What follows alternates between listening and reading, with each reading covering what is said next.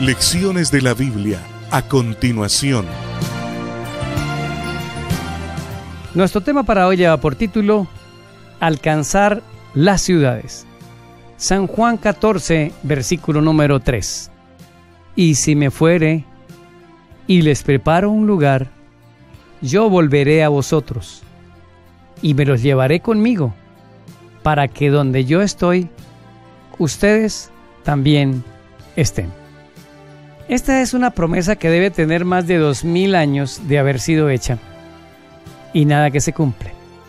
Jesús dijo, voy a regresar, voy a regresar por ustedes. Pero llevamos, como les dije, toda esa cantidad de tiempo y no regresa. Las ciudades cada día se hacen más grandes, más populosas, más sanguinarias, más materialistas, más consumistas, más violentas, impenetrables en muchos aspectos. ¿Qué es lo que pasa? ¿Por qué es que el Señor no ha venido si lo prometió? Quiero que veamos algunos aspectos que nos van a ayudar para concluir cómo podemos evangelizar en las ciudades. Punto 1. Se llama tiempo de gracia. Gracia lo estoy tomando en este instante como el espacio que Dios le da al ser humano para aceptar el amor de Dios. Dios nos ama, nos persigue, nos llama, y ese tiempo en el que yo puedo responder se llama tiempo de gracia. No ha venido porque todavía le está dando tiempo de gracia al mundo. Recuerden que el tiempo de gracia es colectivo, pero también es individual. Cuando uno se muere, se le acabó el tiempo de gracia. Así que Dios no ha regresado porque está esperando que muchos otros vengan al arrepentimiento. Punto número 2. Todo este tiempo en que el Señor se ha demorado en venir, el mal se ha desarrollado. Dios dijo, no escojan el mal, porque el mal será un desastre sobre el mundo. Pues el diablo dijo, eso es mentira. Todo este tiempo y ese desarrollo de la maldad, cómo se multiplica, cómo se degrada, es para que el mundo diga, ajá, Dios sí tenía razón. Y el mejor camino hoy es que volvamos los ojos, nuestro tiempo, nuestros recursos y todas nuestras energías hacia Él, porque el mal algún día nos puede alcanzar. Y cuando nos alcanza se cumple lo de Juan 10:10, el ladrón vino para matar, hurtar y destruir. Así que una segunda razón por la que la venida del Señor no se ha efectuado es el mal se irá desarrollando para que veamos las consecuencias de la maldad.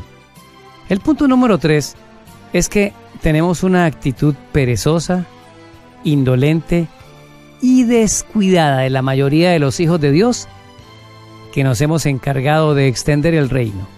Y esto no es cuestión solo del ministro de culto o del líder religioso.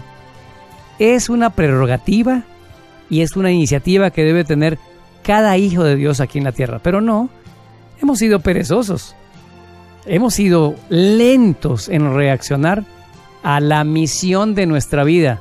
Perseguimos la añadidura y nos olvidamos de que la razón de ser por la que vinimos a este mundo es para buscar el reino de Dios y su justicia. Así que la tercera razón es lentos. Los que hacemos el trabajo estamos lentos y debemos despertar y apresurar la tarea. Miren ustedes, finalmente Jesús va a venir. Él va a venir, hagamos o no hagamos la tarea. Si está terminada o no está terminada, Él va a venir. ¿Por qué?